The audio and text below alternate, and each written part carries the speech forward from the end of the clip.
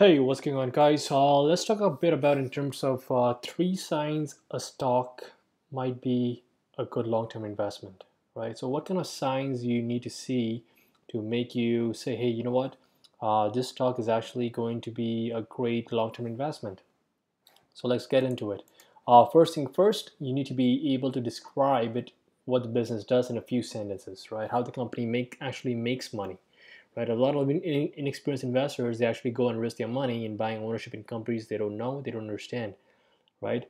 Uh, so you want to go and go and buy invest in, companies like, for example, Apple. You know they make money in computers, um, so in laptops, phones, right? Through the App Store, three main core businesses that you can clearly define. Netflix Netflix makes money by streaming services, right?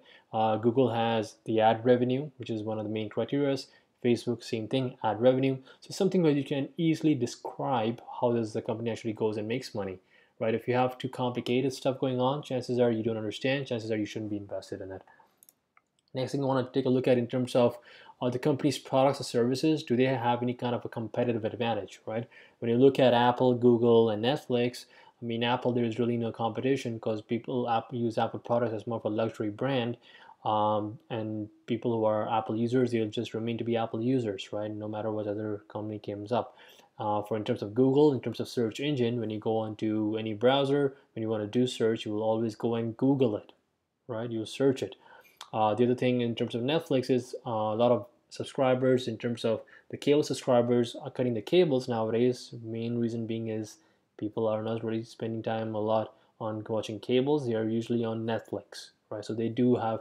So you want to take a look at do the do the product, the service that you have, does it have competitive advantages, right? So that's one you want to take a look at. Next, you want to take a look at in terms of strong balance sheets.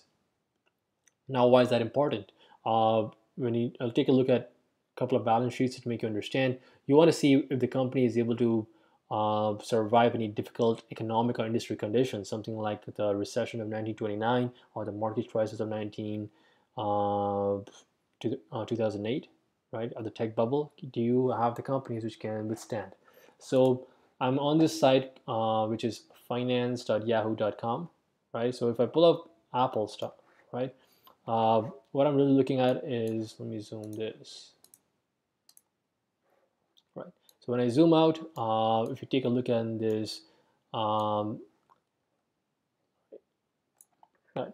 So you look at this, uh, if you want to take a look at the balance sheet, so you want to take a look at, hey, you know what, is this company actually making any money, right? So if you see, you know what, in 2016 made 215, now it made about 229. Uh, profits are pretty good. Uh, so this is really the income statement that you're looking at. You can take a look at the balance sheet, see what your assets are. The assets, I mean, 15, 16, 17. I mean, you see this rise, right? From 68, it went to 128. So pretty substantial number of assets. Um, again, once again, it's pretty substantial again, right? So a lot of uh, assets is being built up, right? Uh, if you want to take a look at something like, say, Google. Um, so if you want to take a look at the balance sheet, let's try to bring that up. Um, look at the balance sheet of Google, once again, substantial growth in assets, right? Substantial growth in assets. Uh, liabilities are fairly there, but if you look at these assets are just gigantic, right? So if things go south, they do have the money to uh, cover those liabilities. This liabilities is 24,183. This is 197. They have more than enough money to do it. Uh, if you want to take a look at, say, even say Netflix, right? Uh, looking at their balance sheets, I mean, they didn't really make much money before, but now when they start making it, I mean, substantial assets, right?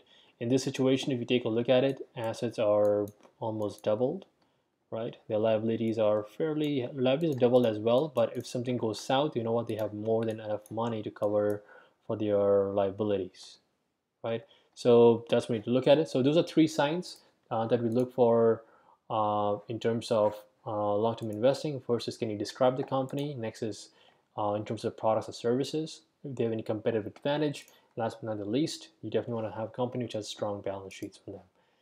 Uh, if you like the video, please like and subscribe. You have a good one.